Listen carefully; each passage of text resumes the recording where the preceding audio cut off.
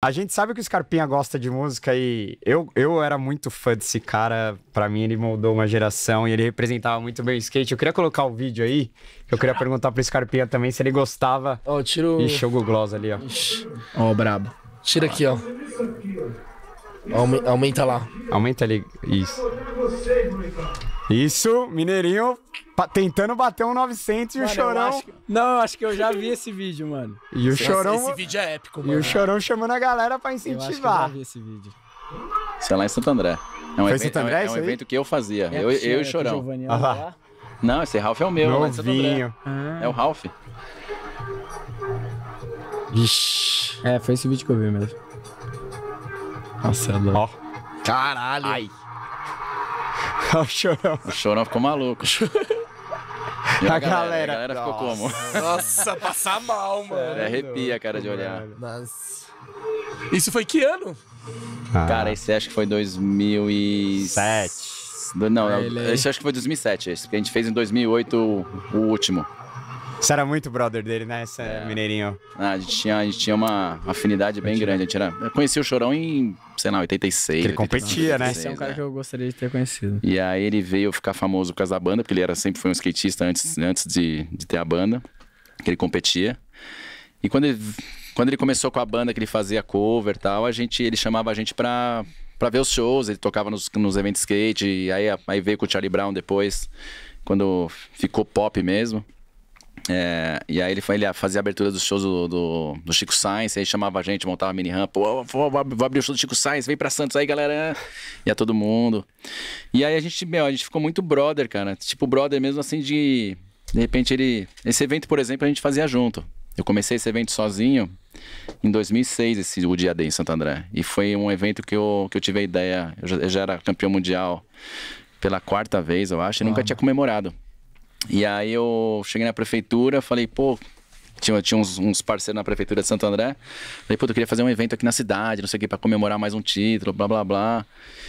E a ideia que que era? Era ter um campeonato. A ideia era ter um campeonato amador pra tá. Pra tá ajudando a categoria amador dos moleques, né? Que na época os amadores eram o Pedro Barros, era o Rony, era o Ítalo, era tudo, esse, tudo essa molecada. Deram o campeonato pros amadores. A gente fazia a apresentação pro, com eu e meus amigos, chamavam os profissionais, a gente fazia a apresentação depois. E a gente misturava os brothers, os grafiteiros iam lá, ficavam fazendo grafite, os caras b-boys ficavam dançando. Era um evento bem urbano assim, mas era tipo em comemoração ao título mundial, o primeiro na ideia. E aí eu, como eu era muito, muito amigo do Chorão, liguei pro Chorão, falei, pô, vou fazer um evento assim, comecei a convidar a galera e fui convidar o Chorão. O Chorão falou, ah, mano, só vou se eu tocar, velho.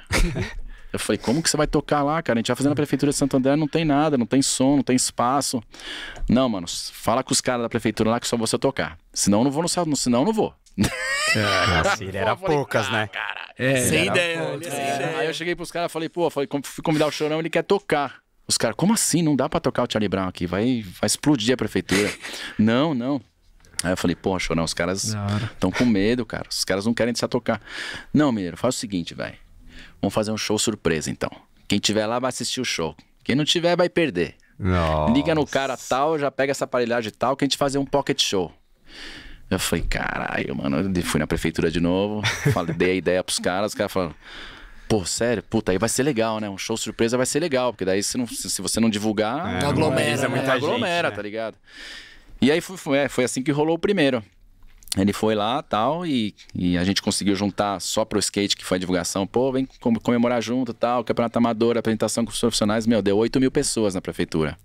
E essas 8 mil pessoas chegou no final da hora que ia começar a apresentação com os profissionais, que era o último, último negócio do evento, pra fechar o evento. Meu, entrou o chorão cantando junto.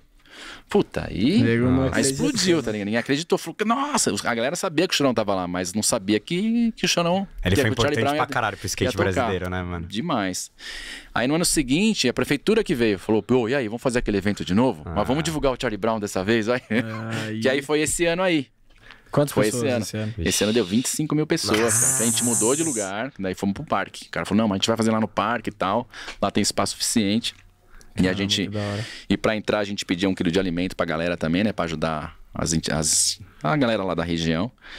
E aí a gente fez mais três vezes depois, com o Chorão, divulgando. Então ele era meu parceiro nesse evento. Porque eu ligava pra ele e falou: "Ô, prefeitura quer fazer de novo, vamos aí? Vamos, Porra, vamos aí, o evento é da hora pra encerrar o ano, é o melhor evento, não sei o que, não sei o que. A gente fazia, porque era sempre em dezembro o evento. Nossa, ele mal. Era o último ele ia, evento- ele era o mal o Scarpa, ano. mano. Era, tipo, era, o- Nossa, era o último show do O que, ano ia, dele. o que ia tocar no telefone dos meninos da Triple ali, ô, vamos fazer uma pauta do chorão com esse Scarpa. Nossa. É, era tipo o último show do, dele do ano e o último evento de skate do ano. Então encerrava com chave de ouro. Você curtia Charlie Brown?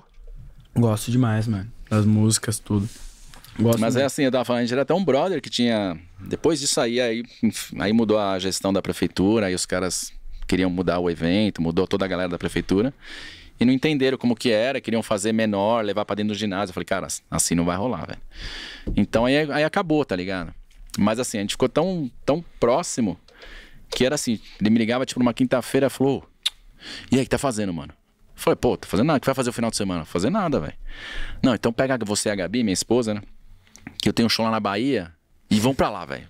Como assim, mano? Não, não, tô te mandando a passagem. Fala os nomes completos aí, RG e tal, tô mandando a passagem pra vocês dois, porque a Gra vai junto, a Gabi fica com a Gra e a gente fica zoando, pá, pá, a gente anda de skate, não sei o quê. Embora. Nossa. É. Então a gente, meu, a gente, mesmo, mesmo eu não, eu não estando no mesmo rolê que ele tinha das loucuras dele, porque, puta, graças a Deus sempre fui careta, enfim. Isso acho que até deu essa longevidade da minha carreira, tá ligado? E, mas ele acabava sendo, acabava sendo um confidente dele. Às vezes eu ia pra casa dele lá, e eles ficava, meu, ficava trocando ideia até assim, três, três horas da manhã. Ele ficava falando, porra, mano, tô me, tô me cuidando, tô emagrecendo, parei, parei com isso, parei com aquilo, bababá, bababá. Cara, era um cara especial, pra falar a verdade. Ele, era, ele tinha todo aquele estilão bad boy dele, mas ele era um cara que tinha um coração gigantesco, ajudava muita gente. Fazia mal só pra ele mesmo. É. Exatamente, é. A única coisa que ele fazia mal era pra ele. Ele pensava em todo mundo, mas chegava do lado dele, ele, né? ele acabava. Ele era fraco pras merdas que ele acabou morrendo, né? Sim. Infelizmente. E ele andava muito, né? Ele andava bem pra caramba, né? Ele andava assim, não é nossa, que ele é andava muito-. Tipo, ele sabia, nada, ele assim. sabia andar, ele tinha base. Tipo, pra amador, eu digo, né? É, Óbvio, não, ele tinha profissional. base. Até porque ele, não- ele, não, ele não chegou a seguir uma carreira como profissional. Porque na época que ele andava, que era nos anos 80, não existia profissional no Brasil. Existia, mas era um nível muito inferior aos profissionais, que, é, falando dos americanos na época, né? Dos caras de fora. Mas ele tinha base, ele andava. Ele, tipo, nesse Ralph aí, ele dropava, tá ligado? Dropava, dava as batidas dele, se divertia. Tinha a pista dele em Santos, que ele dava um puta rolê lá. Mas ele nunca foi um profissional de skate, mas ele sempre foi skatista. Sim. Tanto é que, que nessa fase da, do Charlie Brown, é, o Chorão foi um dos caras que mais ajudaram o skate no Brasil, cara. Porque o Chorão, ele tinha entrado em todo lugar. Ele, como, como a bandeira estava muito popular, ele carregava o skate dele em qualquer lugar, cara. Qualquer lugar, porque ele era skatista mesmo. Ele queria mostrar que ele era skatista, ele queria mostrar que ele tinha Isso é da hora, atitude. velho. Então ele ajudou muito o skate. Ele foi um dos caras que mais ajudou o skate assim no final dos anos 90, começo dos anos 2000. E assim, toda, toda essa década de 2000 a 2010, aí ele ajudou muito o skate, cara. Fala, Palmeira, beleza? Curtiu o vídeo? Então se inscreve no canal e ativa o sininho. E para assistir a resenha completa, clica no link da descrição.